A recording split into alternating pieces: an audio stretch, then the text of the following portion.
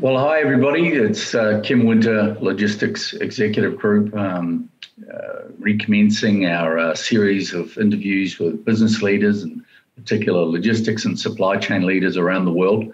Uh, my pleasure today to uh, be uh, joined by senior postal and logistics and supply chain specialist all the way from Dubai, Stephen Stanton. Hey, Stephen. Good morning, Kim.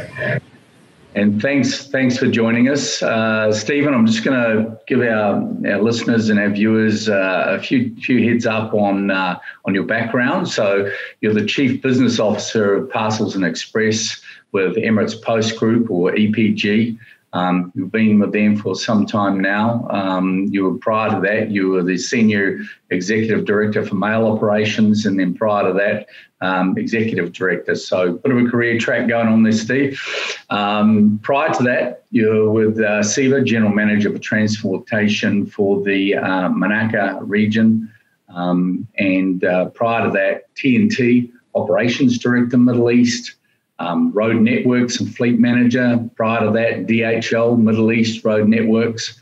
And uh, you hail all the way from Liverpool, I understand.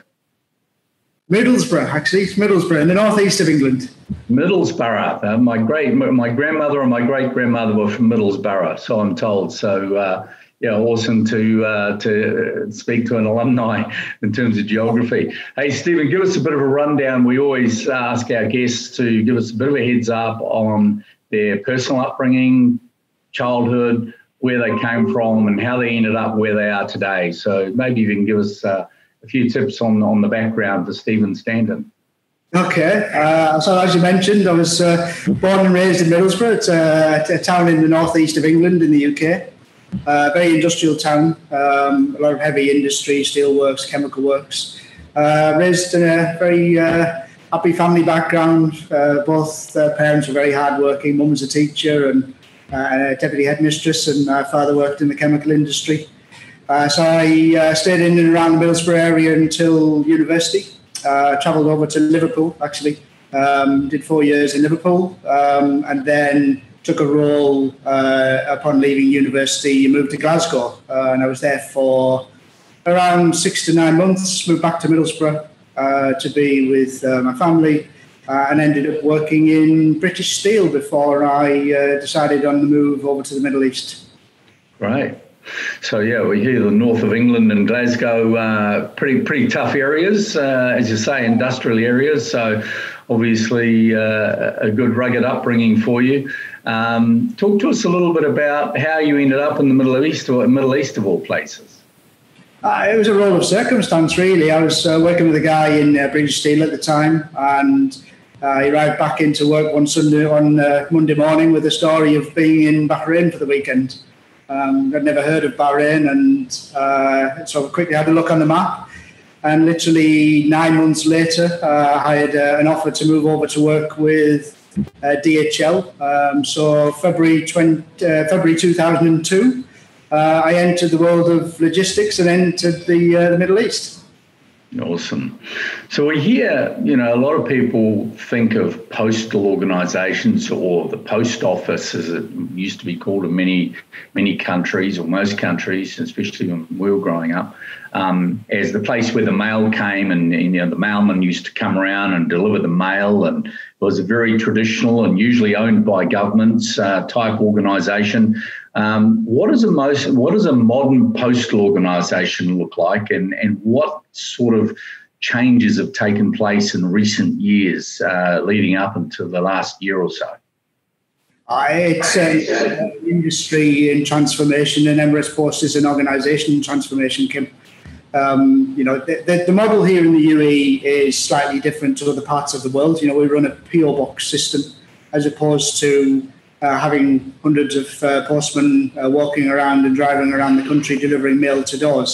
Uh, we certainly offer those services, but the standard uh, precept of the, um, the, the postal service here is uh, is based on the PO box system, and the, it's changing rapidly. I mean, it's been well known for many years that uh, normal mail, you know, letters and postcards, it, it has been in decline um, in certainly single, nearly double digit fig- figures for many years.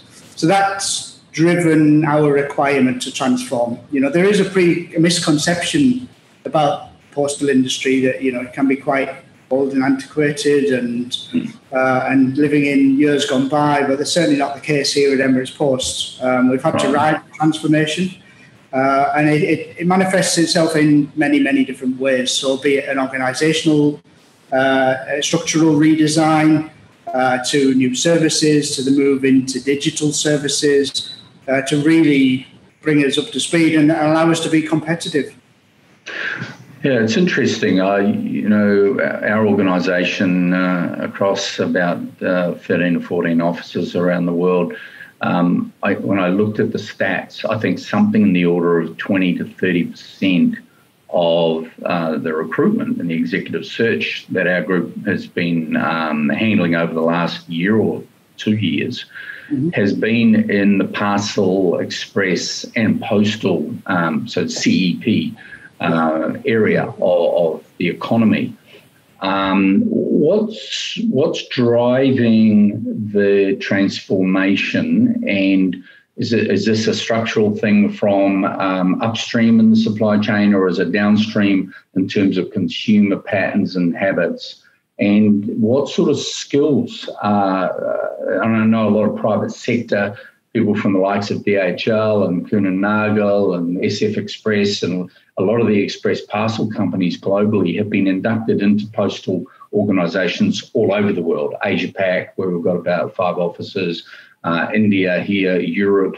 Um, what, what's what's driving that change? And again, what what sort of skills is uh, postal groups looking for? Well, it's almost certainly consumer behaviour, Tim. I mean, uh, Kim, we, um, we we went through the COVID period, as everyone did, and that was a benefit to, to what we do from a, a CEP perspective because the, the shift to online shopping um, uh, was massive here in the UAE. You know, the, the, the, the, the culture uh, here is of retail. Uh, there's a lot of shopping malls and a lot of uh, retail as a pastime uh, from, a, from a hobby perspective to, to a certain extent. So that transition to online shopping drove parcels and express exponentially over the period of many over the period of a few months and certainly over the year. You know, our, our parcel volumes domestically increased 100% between March and uh, October in the year. So that change in consumer behaviour uh, drove the transformation that we already had in planning. You know, we're in the midst of a five-year plan. Um, from a postal perspective, we uh, we were quite in a beneficial situation because many years ago we had an old uh, brand called Empost, and Empost was a domestic courier service.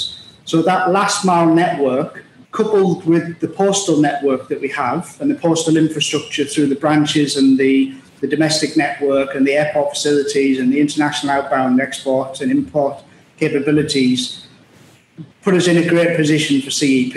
Um, and if you, you mentioned the, the transition of people there, that really, when I look at the team that we have now, a lot of the experience that has joined us as we've been growing over the last few years has come from the courier and express industry.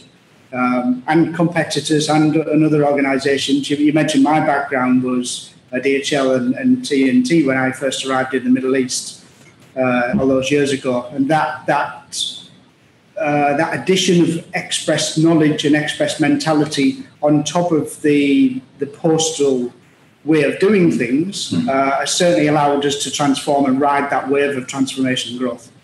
Sure. And, and would you say, you mentioned obviously the experience of the last uh, 12 to 15 months or so during the conditions of the pandemic. Um, we've seen, and I'm sure a lot of the audience are part of that whole movement of the extreme growth in parcel and e commerce and home delivery last mile, again, big chunk of the search and recruitment activity that we've been doing has been in that last mile e-commerce space, especially.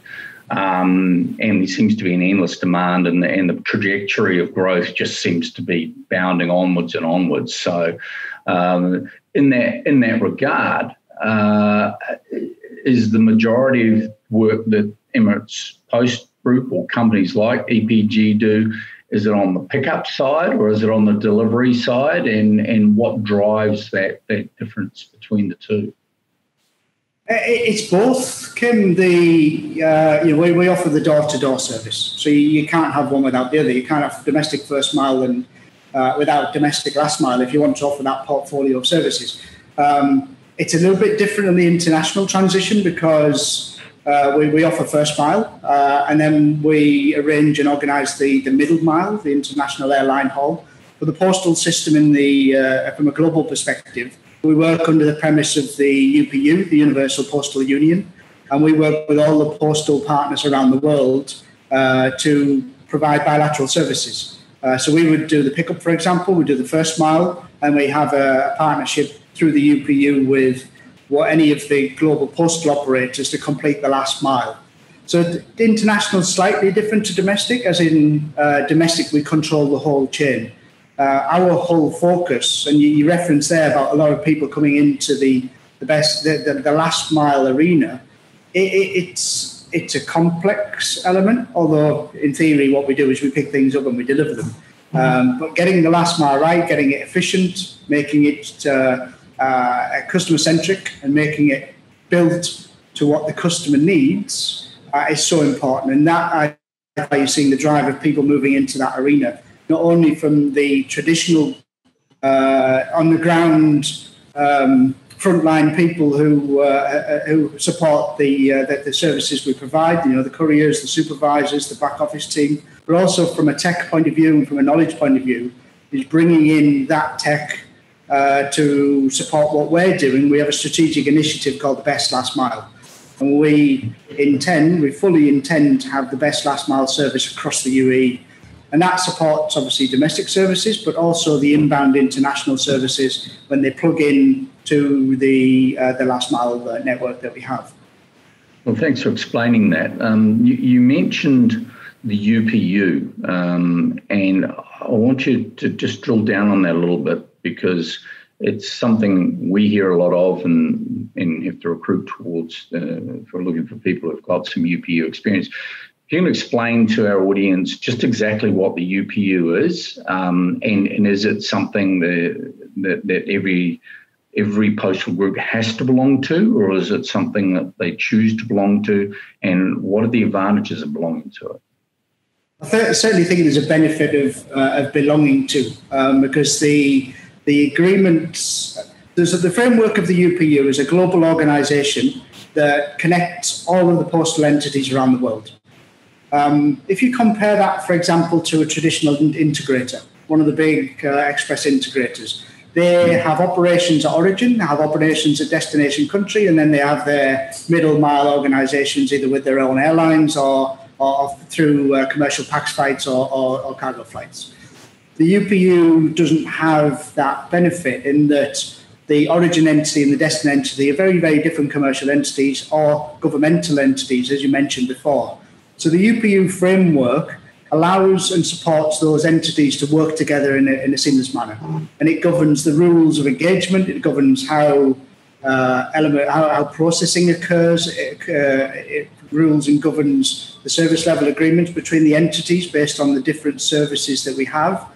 Uh, and it also governs the, uh, the, the, way that everyone's recompensed for dealing with each other. So it's, it's a really, really important entity um, that, uh, that that brings together hundreds and hundreds of postal entities around the world into one operating framework uh, that can support the services that we support. Yeah, that's interesting. It's quite a unique organisation, and when you think about the private sector playing against government or public sector organisations, um, there's quite there's quite a, a, bit of dynamic going on there. And in that regard, um, to what extent do postal groups tend to interplay with um, with private sector? So, for example, I'm thinking of Australia Post. Um, many of the tier one and tier two uh, parcel and express organisations. Uh, and many, many of the e-commerce startups, uh, tier ones and tier two and tier, tier three e-commerce uh, organisations um, leverage uh, not only a private sector company, but they'll also leverage uh, Australia Post because in the Aussie Post example, they have one of the they have the biggest reach and network as part of the government mandate because it's such a big country, the size of the US, but only 25 million people. So there's got to be a delivery network, and not every, not everybody else can really afford to provide that full delivery network. Um, so, so do do you intersect a lot with private network? Do you provide services to them, or is it a competitive situation where you won't supply services to them so you can maintain uh, a bigger market share? How does it work? uh, you know, the, the, the EU is a very competitive market, Kim. Um, the, we're in quite a unique situation here. Um, and I, I, say that because we, we do work very closely with the integrators. Uh, and you, mentioned one of the scenarios there. We have, uh, because of the network that we have uh, built over the years from both a last mile perspective and the, the retail network, which is our network of post offices around the country, you know, we're, we're everywhere. We are pan UAE, so we're from Silla in the west to Fujairah in the east down to Al Ain in the south. Um, that network reach is not always available to um, the, the, the express players. Uh, so we work with quite a number of players in providing those services.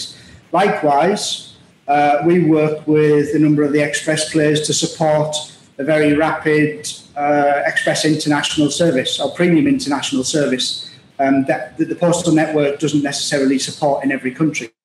Um, but you know, the, the is a small place knows everyone. Uh, there's a lot of friends and camaraderie that have been built up over the years. So it's um, there's a there, there's a certainly a competitive element there because we play in the same market, um, but we seem to have a happy balance between uh, how we uh, how we work together and how we compete at the same time. Okay, um, you know, from a corporate advisory perspective, we and I'm sure a lot of other providers in the space in the Middle East, Asia in particular are engaged with a whole range of projects around digitisation and transformation. Mm-hmm. Um, and, and postal groups are certainly right up there and some of the biggest players in that digitisation. Just to what extent is digitisation on the agenda? Is it at the top of the agenda or is it in the middle of the agenda uh, for postal groups and why? Uh, I, can't talk about the, the other postal entities. Yeah in detail. Um, but from an Emirates Post perspective, it's it's top of the agenda. You know, it's everything really? from uh, it's you look at all the touch points that we have um, from a last mile perspective, from a service and a product perspective. Uh, you know, ultimately, remember we're we're, uh, we're driven by uh, what the, uh, the the UAE the, the, the, ambitions of the UAE government. We're very much aligned with uh, what their ambitions are. Uh, and the leadership in the UAE is 100% focused on development, digitisation, and providing uh, excellent services across the board. So we follow that mandate as, uh, very closely, and that means, you know, from a last mile perspective, we're looking at the tech that supports the uh, the customer interactions, so excelling in customer experience, but also the efficiency elements that allow us to plan the delivery routes, for example from a service and a product perspective, um, we recently launched uh, earlier this year the EP Box, which is a virtual PO box. Um, so it's, uh, it's away from the traditional physical PO box. It allows a customer to uh, uh dictate and determine uh, on an app or on the website how they would like to receive their items physically. But in addition to that, there are new services launched which are secure digital services allowing the, um, the sending and receiving of secure information, secure data, secure documents uh, in, a, in a tight legal framework um, on a digital platform. So it's moving away from the physical. And you know, we mentioned earlier the, the decline in physical mail over the years is, uh, is only going to increase. So these digital services now are so important. Yeah, it's, uh, I guess it's uh, just part of the dynamic of, of market being driven by changes in consumer patterns. I mean, to, to what extent has, has consumer, I mean, as you say, you mentioned earlier on, malls in the Middle East in particular are uh, not only a pastime, but they're, they're part of the social and economic fabric in a big way. I think that some of the biggest malls in the world are in the Middle East region, and the footfall – and malls uh, in the Middle East is as big, if not bigger, than anywhere else uh, on, on, accumulation uh, around uh, around the world. To from your perspective, where do you see consumer behaviour going, given the massive uptick in, in home ordering product from home and deliveries to home. Um, and what, what do you see in the main drivers there? What, what, what do you predict in the next 12 months or so? Okay, uh, the, as I said, the retail is it's, it's part of the fabric of society here, but uh, and there's been so much investment, and there's so much investment in retail space continuing. Uh, it, it, must be quite a, a dilemma for the uh, for, for the retailers around the region in terms of the strategy because customers are demanding home deliveries. You know, it is a common demand now, and I think what happened in COVID is that COVID only accelerated that demand. It's here to stay at a higher level, and maybe it's brought forward the growth two or three years um, from a from, from, a volume perspective as a result of COVID. But that balance from a retailer perspective of having, you know, everyone talks about omni-channel, having the omni-channel service where uh, you have a, you have your physical stores, you have your online stores, and you have other methods of uh, of communicating your services and your sales to your customers is, is ever more important now. We do see a growth, obviously, in the the pure e-commerce player. Um, you know, the, the, anything from an SME to the growth of uh, the big the big players here, the Amazons. Um, you know, they're, they're, all growing, and the, the, the way that the government encourages entrepreneurialism in, in this country in this this part of the world is, is phenomenal. So I, I think yeah. the the growth of the smaller SME type e-commerce player is only going to continue. Sure. Yeah, um, there's uh, been a number of uh, conferences that have been uh, held up around the region recently, and then certainly consumer behaviour e-commerce, as it is elsewhere in the world, is just there's a major top of mind subject, and the and the dynamics and the transition going on there is is, is enormous. Um, Stephen, I always sorry, go ahead. I think I think it's important also to reference the the, the non-e-commerce. Uh, uh, economies within the UAE. I mean, uh, one of our, our, mainstays from, from a historical perspective was the banking industry and the governmental industry. Mm. They, they, continue to grow. Um, they're yep. bringing on services, new products, digital onboarding, for example, where in the last mile, you're actually onboarding the customer as a new customer for the bank.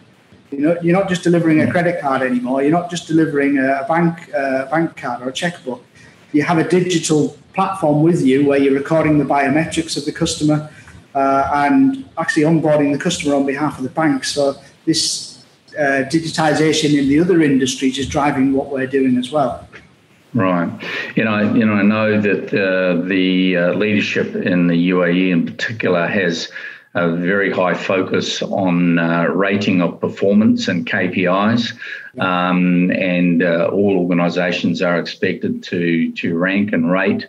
Uh, to, and there's some sort of competition, I, I understand, right across organisations that are related to government um, as to how they perform. Um, what's what sort of measurements and and what sort of uh, structures does EPG hold in that regard?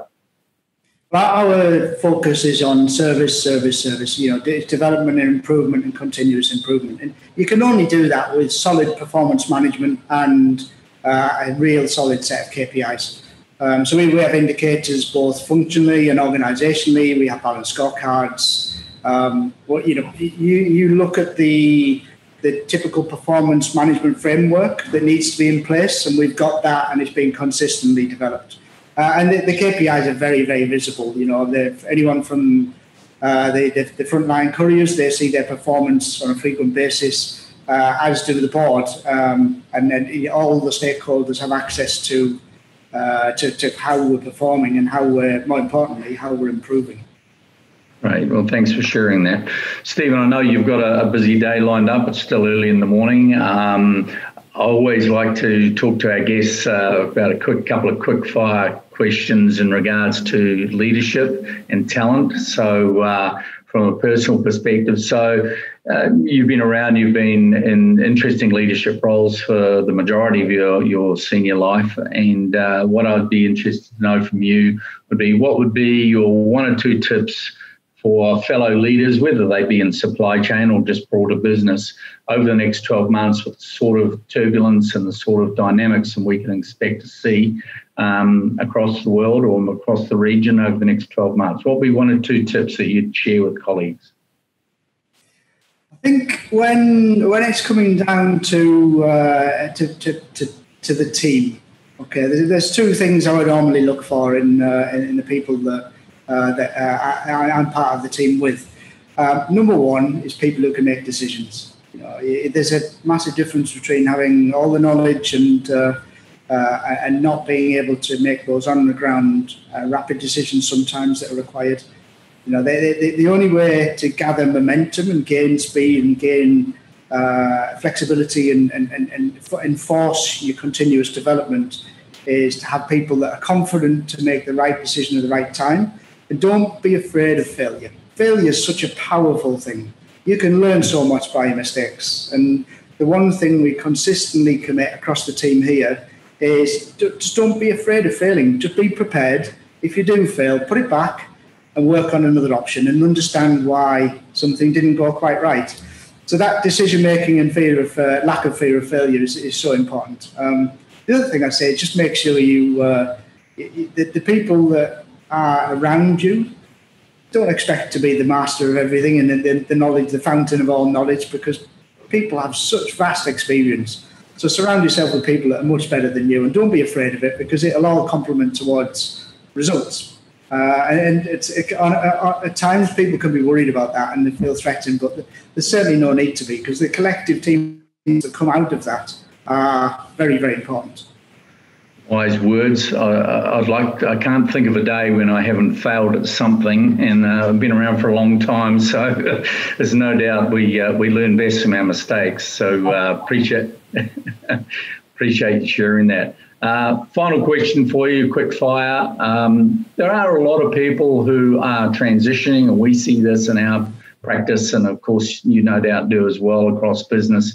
A lot of people are moving from areas which have not been so fortunate during the last year or so uh, with the heavy economic impact, especially uh, I'm speaking to tourism and aviation and hospitality um, not only in uh, the Middle East region, but elsewhere around the world, of course, we're seeing a lot of people by necessity needing to transition out of those uh, areas of employment and industry that have been greatly affected um, into the growth areas. Uh, and that's various areas of transport and logistics and supply chain, including, of course, um, the CEP, parcel express, and postal areas we talk about. If you were to give one piece of advice from to somebody, uh, irrespective of their age, because we've got a lot of people mid-career needing to make massive changes as well, including hundreds of thousands of pilots around the world um, and other aviation workers, as I mentioned. There's one piece of advice for you to speak to people who are wanting to get in amongst an industry um, such as postal or express or in the e-commerce space, what would that, and they're going for an interview, what would be the one thing that you would recommend that they really push and that they really try and present about themselves to appeal to uh, that end of the uh, industrial and economic sector? Oh, I would say focus on your core skill set. You know, knowledge. People learn all the time, and people can learn. Uh, you can rapidly pick up new skills and, and, new knowledge of a new industry. So do your homework. Make sure you understand the fundamentals of the industry that you're looking into. You know, postal is a great example because we have uh, we struggled to find real postal expertise uh, in the UAE and in the region because we, you know, for, for years we've had the, uh, the, the operation and the network that we've had. Um, but focus on your core skill set and really emphasize how those skill sets are transferable and give examples of how they can be transferable. You know, if you thought about it in advance, me, for example, if I'm talking to someone, if they tell me I'm in banking, but this is my skill set and this is how I can apply my skill set to the postal industry, I'd be more and more interested in looking at that person uh, as being part of the team. Yeah, right. Every everyone can transition, and we've got great examples of it here. Our, one of our latest senior guys uh, came from the food manufacturing industry. Okay. Yeah. Yeah, and I, and I think I know who that is. so, yeah, fantastic. Look, I uh, I appreciate you sharing that that advice with the audience and myself, and giving us some sage input uh, around careers in particular at this particular time when a lot of people are, are, really pushing on to look to transition between their, their different areas of their career. Uh, Stephen Stanton, EPG, Emirates Post Group, Really appreciate your time. Thanks so much for joining us. Um, to our audience, thank you for again sharing time with us. Uh, we definitely uh, appreciate the, the fact that you've got a lot on, and we hope that any of the information that Stephen's been able to share is valuable for you to all of the first responders, to the people right across industry sectors, not only across supply chain and logistics. It's getting a lot of headlines at the moment, but right throughout healthcare, wellness, uh, first responders, as I say, anybody in the supply chain helping out. Really appreciate it. Stay safe out there, everybody. Mask up, keep distanced and uh, and uh, be very hygienic about what you're doing. Uh, without further ado, again, Stephen, thanks very much, and thank you, everybody. Thanks, Kevin. It's a pleasure.